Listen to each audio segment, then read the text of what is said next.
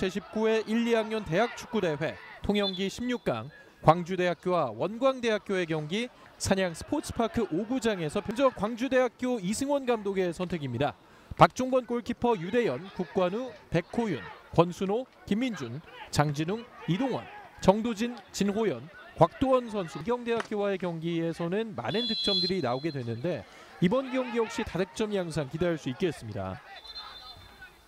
입니다. 2005년부터입니다. 광주대학교 2007 지도하에서 많은 성공 신화를 써 내려가고 있는 광주대입니다. 양 팀의 경기 시작하고 있습니다. 화면 외입니다.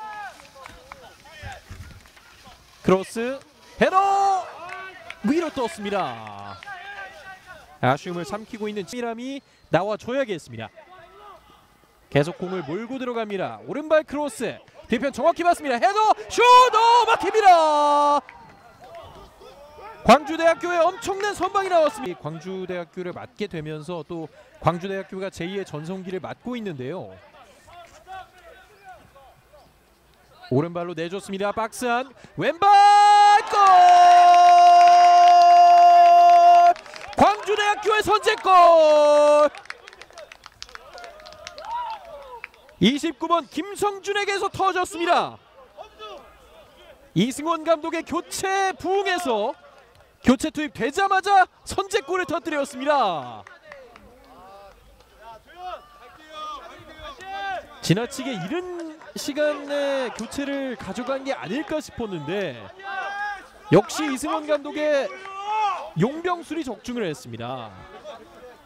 많지 않았던 기회의 전반전의 광주대 한 번의 기회를 통해서 선제골을 만들어냈습니다. 끝까지 버텼던 윤승빈 잘 내줬고요. 왼발 각도를 만들어서 완벽하게 땅볼로 구석을 겨냥했습니다. 결국 광주대학교가 자주 시도했던 롱패스로부터 시작됐던 공격. 박스 안에서의 침착함이 돋보였습니다. 이제 앞서가는 팀은 광주대입니다. 기세가 올랐죠. 유대현의 크로스. 뒤편. 오! 자책골! 아 이게 뭔가요? 자 양상섭 선수가 골키퍼에게 내주려고 했던 판단이었을까요?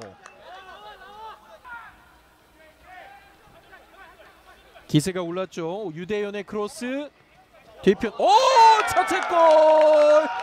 아 이게 뭔가요 자 양상섭 선수가 골킵 원광대학교도 뒤에서부터 공격을 이어옵니다. 박주혁. 돌파 과정 걸렸습니다. 뺏게 된다면 광주대에겐 기회인데요. 네 우선 시간을 많이 끌어줬습니다. 한민호 선수의 수비가 대학 축구대회 통영기 16강. 광주대학교가 원광대학교를 2대 0으로 꺾게 되면서